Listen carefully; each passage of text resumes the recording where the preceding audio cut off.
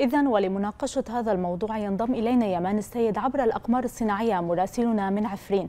يعني بداية يمان أهلا بك. أفادت الأخبار بتشكيل ميليشيا جديدة للنظام في زملكة ما معلوماتك حول الموضوع؟ نعم. نعم نغم بالفعل. يعني ميليشيا أسد الطائفية قامت بخدعة جديدة من أجل القيام باعتقال المزيد من أهالي الغوطة الشرقية. طبعا تشكيل ما يسمى بميليشيا كتائب البعث هي خدعة جديدة من أجل اعتقال المزيد من شبان الغوطة الشرقية خصوصا الحوافز التي وضعتها ميليشيا أسد الطائفية منها الرواتب المرتفعة ومنها قيام طبعا ميليشيا أسد. بالعفو عن جميع المنضوين تحت هذا التشكيل من الخدمة الإلزامية إضافة لعدة أمور أخرى قامت بها ميليشيا أسد. طبعا الهدف كما ذكرت هو فقط اعتقال الشبان في الفترة الأولى سيكون هنالك صلاحيات كاملة نعم. لهذه الكتائب وقيامها طبعا بالدخول وأيضا التجوال في الغوطة الشرقية بكل أريحية. ولكن فيما بعد ستبدأ ميليشيا أسد الطائفية بعد أن يكون أهالي الغوطة الشرقية طمأنتهم بخصوص هذه الميليشيات. ستبدأ بعمليات الاعتقال طبعا المنضوين تحت ما يسمى بكتائب البعث هم من البعثيين الذين كانوا في الغوطة الشرقية وبقوا فيها وأيضا من خلال بعض أزلام النظام من ممن كانوا في العاصمة نعم. دمشق وأيضا ممن كانوا في مدينة زملكة وبعض العناصر التابعين لما يسمى بميليشيا جيش الوفاء الذي شكل في العام 2015 وكان طبعا مساند بشكل كبير لميليشيا النظام في الغوطة الشرقية طبعا هذا التشكيل أرفقه النظام مباشرة بحملة اعتقال على شبان مدينة زملكة تحديدا نعم.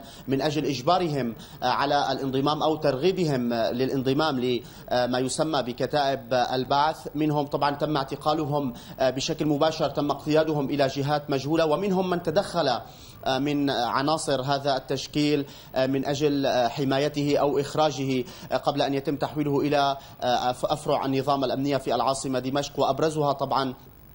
فرع فرع فلسطين وأيضا فرع المخابرات الجوية في مدينة حرستا طبعا الاعتقال. الاعتقالات لم تتوقف فقط على أهالي مدينة زملكه وانما وإنما امتدت إلى أهالي عين ترمى وأيضا أهالي جوبر المقيمين داخل مدينة زملكه وعين ترمى لأن ميليشيا اسد الطائفيه منذ نعم.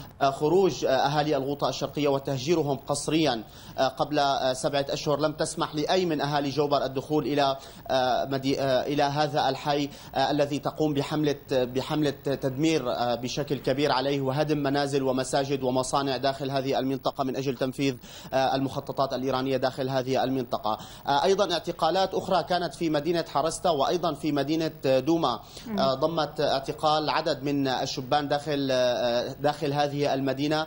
الشبان دائما ما يقومون طبعا بالهروب بالميليشيا أسد أو بالفرار إلى المزارع والبساتين في مدن وبلدات الغوطة الشرقية. ولكن حتى هذه هذا الأمر. طبعا ميليشيا أسد تقوم بعمليات دهم واعتقال في هذه المزارع أيضا وفي البساتين. والحجج دائما موجودة وجود مجموعات أو خلايا تخطط للقيام بزعزعة الأمن في الغوطة الشرقية وإلى ما هنالك. يتزامن نعم. تتزامن هذه الاعتقالات باستمرار عمليات التدمير في الغوطة الشرقية تدمير المنازل تدمير المساجد تدمير المصانع المعامل وأيضا حتى بعض المؤسسات الخدمية. إن كان في مدينة حرستا حي جوبر الدمشقي وأيضا حي القابون وبعض المناطق الممتدة على المتحلق الجنوبي وأوتوستراد نعم. دمشق حمص الدولي هنالك عمليات تدمير أيضا من قبل ميليشيا أسد الطائفية وكما ذكرنا سابقا ونذكر دائما الحجج و الأسباب واضحة من ميليشيا أسد إما وجود أنفاق من مخلفات المجموعات الإرهابية المسلحة على